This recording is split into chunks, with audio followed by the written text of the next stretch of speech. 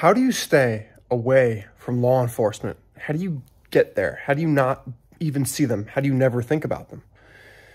You just know that they don't exist. And that's with anything you don't want in your life. You just know that it, say you don't want something that keeps appearing in your life. It just doesn't exist. So, for example, when I was on the road yesterday for a, a while, all over the place, I never saw a cop. I don't see cops anymore. They don't appear in my life. They don't manifest into my life because I don't fear them. I don't care about them. I know that they their job is useless and they don't exist. Why do I say their job is useless? No, they do some things as a result of other stupid things in society and that's why people say we need them. And it's just been a terrible terrible unfolding perpetual motion of shittiness, crime and we need people to enforce rules and regulations and do certain things. And then we it leads to all the dumb laws that we see. Like I can't pee wherever I want. Fucking retarded. Ridiculous and God knows about the whole thing. I should be able to pee wherever I want.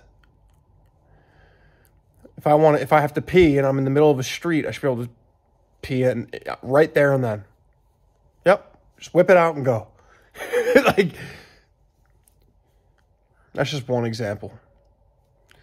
I've been in trouble with the law for absolutely most times no reason.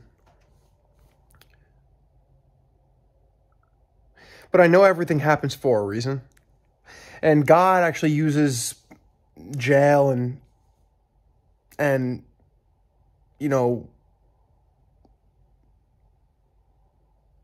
the shittiness of society. He uses it to teach lessons and make one stronger. And I would say that dealing with really unholy police officers. Most of them are. Um, I'm not even going to get to, into how I know that so well. How do I know all these cops are so on various various reasons I won't get into because if I get into all the reasons, I'm going to trigger a lot of different people. And I just don't feel like doing that. It's not nice, I think, right now. It's not going to be a nice thing to do. Whatever. Nice doesn't really exist either, but that's what I'm choosing. But yes, money is owed. Uh, no, we're going to see the demise of law enforcement before I die. We're going to see major, major reform everywhere. And I'm going to make sure of it. You might as well just make me president of the United States. That's what you should do. Make Ryan Delaney president of the United States. And I will change this entire world around.